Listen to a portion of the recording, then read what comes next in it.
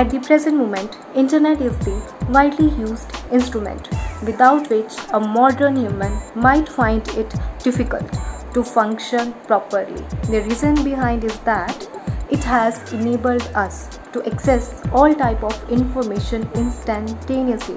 Moreover, it has provided the students with the latest knowledge hence increased the learning potential of the students and we are also thankful to this technology because in this pandemic we all are in touch with each other through this medium.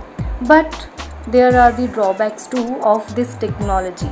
Like there is a threat of virus frauds and most importantly it provides the disorganized and unproductive material through which anyone can go astray. And you can be fished into such fishy tricks so in the last i would like to say that if anything is available for the two purposes always think for the positive side. Internet is boon for those people who use it wisely and for the positive purpose.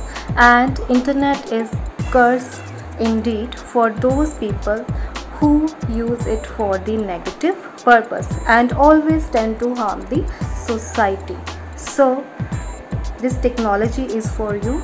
Use it judiciously. Stay safe stay healthy and be the responsible